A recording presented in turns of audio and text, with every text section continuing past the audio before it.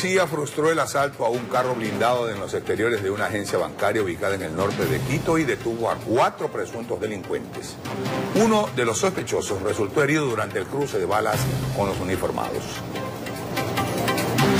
Cuando los guardias iban a hacer la entrega de las tulas repletas de dinero, fueron sorprendidos por cuatro sujetos que fuertemente armados se apoderaron de las bolsas.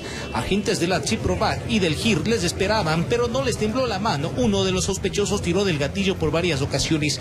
A la voz de alto policía, los presuntos delincuentes abrieron fuego contra la humanidad de los elementos policiales. Al repeler el ataque, uno de los supuestos asaltantes cayó herido. Y haciendo uso de armas de fuego, neutralizaron, intimidaron, amenazaron a los guardias y les arrebataron las tulas con el dinero.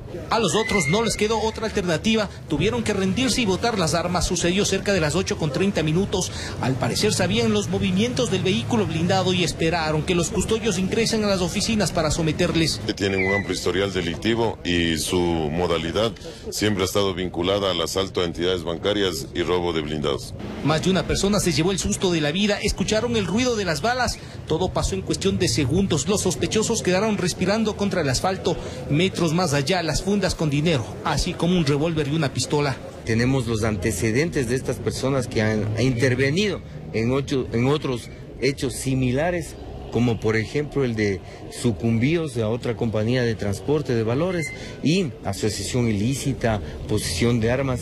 Al parecer buscaban su millonaria Navidad, en esta ocasión no llegaron en Trineo sino en Aveo, pero todo fue frustrado por la policía y esposados fueron llevados hasta flagrancia mientras el herido a una casa de salud con custodia policial. Encontramos en poder de los delincuentes alrededor de 300 mil dólares en efectivo, que era el dinero que la, el equipo de seguridad de una compañía de transporte de valores estaba ingresando a dejar en esta entidad eh, bancaria.